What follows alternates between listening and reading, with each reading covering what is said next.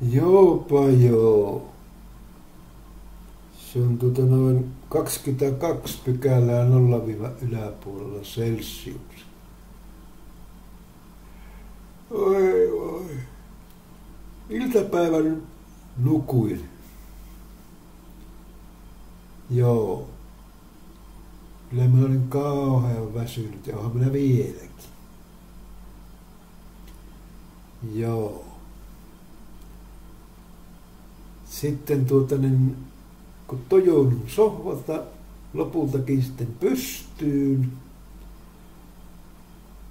rupesin keittämään kahvia. Soi ovikello. Sitä ei ole tapahtunut tämän vuoden puolella kovin monta kertaa, joo. Mutta siinä ajassa ennen kuin minä pääsin ovelle, niin tuota,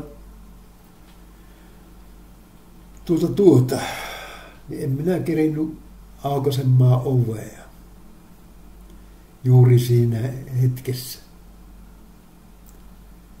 Joo.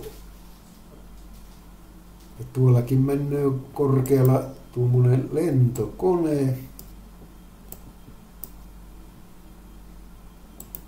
Se tuota niin Oulusta Helsinkiin menossa. 11 278 metriä, jaa. Ja tuota, paljonkohan sillä on nopeutta? 733.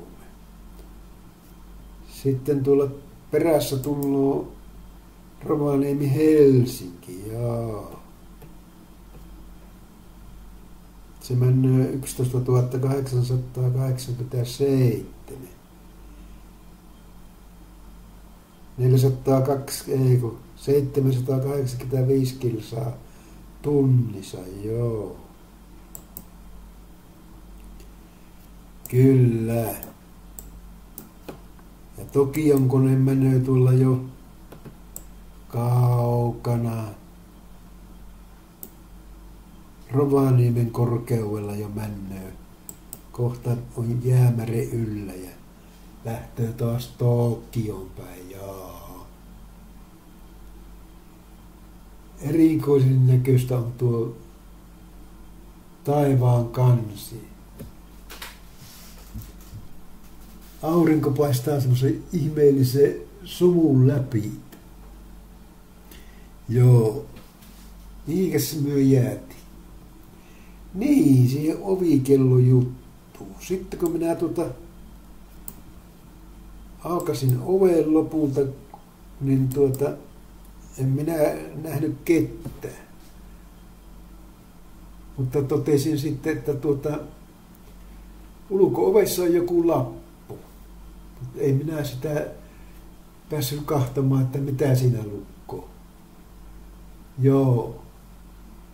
Toista se oli ennen kuin oli, voisinko sanoa, että omasta takaa semmoinen tiedottaja, joka oma-aloitteisesti aina ilmoitti kaikkia, jos on jotakin tärkeitä juttuja tuolta huoltomies laittanut oven lappuja, niin, mutta ei hän enää sitten ilmoittele minulle mitään.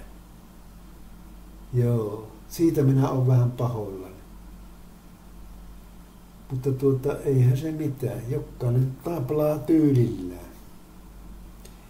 Joo. Ja tuota, tuota, tuota. Sitä minä ihmettelen sitten tuo tämä meidän pääministeriä, voi kauhea. On se kauhea kännäämään, kun se vaan pilettää ja pilettää vaan. Kumassakin minä katson sitä sen naamataulua, niin se rupeaa maksamaan kovaa hintaa sitä pilettämisestä, kun silmäaluset on niin mustat verenala oikein semmoinen, joka valvoo, niin sillähän on, semmoisella ihmisellä on silmäaluset semmoiset tummat. Sitä minä ihmettelen, että niin Kuka sitä pentua hoitaa sitten, kun se aina vaan pilettää? Voi jumalauta. On se ukko, kun se hoitaa sen pennu. Joo. Kyllä minä sanon, että on meillä pääministerit, on todisesti.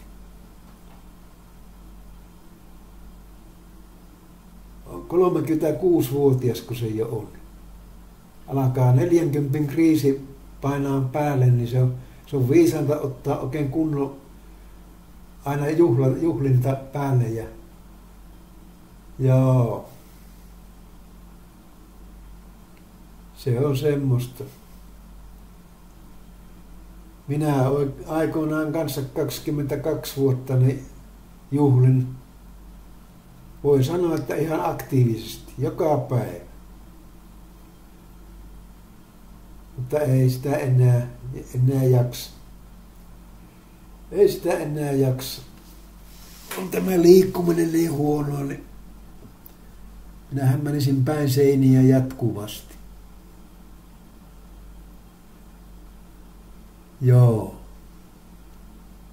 Muistan kerran aikoinaan, kun tuota, mulla oli iso pullo viinaa. Ja se oli semmoinen viikonloppu, lauantai-ilta ja pullo oli sohvapöydällä ja sitten lasi vieressä ja tuota, minä siitä tuota sitten aina tein kuppia ja toki minä lanttasin, että vesipullo oli vieressä, joo. Ja siinä sitten kahtelin niin televisiotakin, mutta kyllähän se meni päähän sitten lopulta. Niin minä jumalata putosin sohvalta, lattia. Eihän siinä mitään. Minä rupesin vaan, silloin minä jaksoin paremmin, niin tuota, keppiä heittelin eessä ja persauksilla hiissasin ihteni makuuhuoneeseen ja yhdellä tempasulla kiskasin ihten sänkyyn riisuin ja sitten tuota niin lähtikin toisen kerran jo taju, että aamuun nukuin koko ajan. Joo. Se on semmoista piletysaikaa se.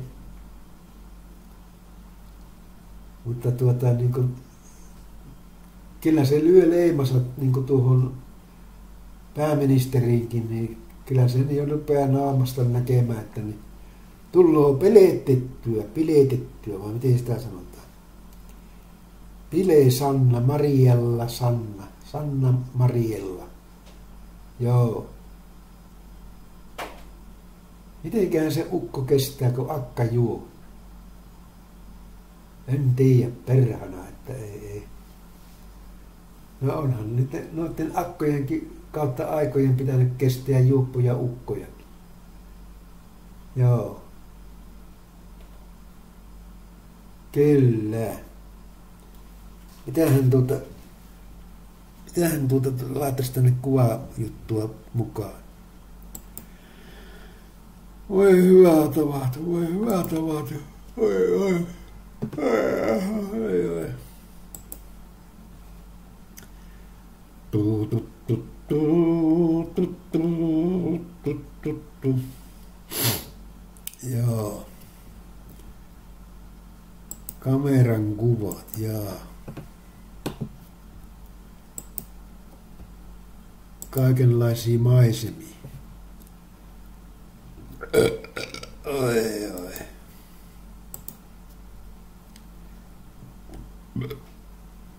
Oho. Kyllä se semmoista on tämä ihmisen ero. Rupista touhu. Joo. Missä se meidän on tuo? Joo. Kyllä äkkiä menee tuo aika.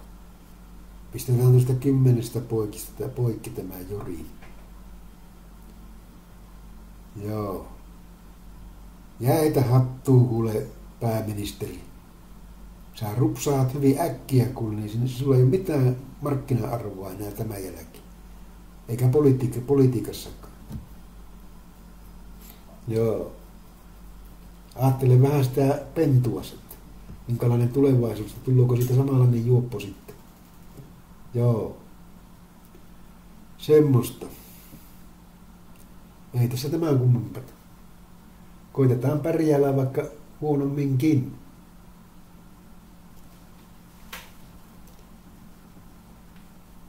Kyllä. Jaa, ja sitten lopuksi vielä toteamus, että nyt sitä tuolia ei ole tuossa, että mihinkähän se on joutunut. Onko joku tuossa sitten viisas heittänyt syntynyt tuohon pusikkoon, että sitä ei näe minulle tässä ollenkaan. No, sieltäpähän löytyy sitten. Että ei tässä tämän kummempata joo. Näkemiin.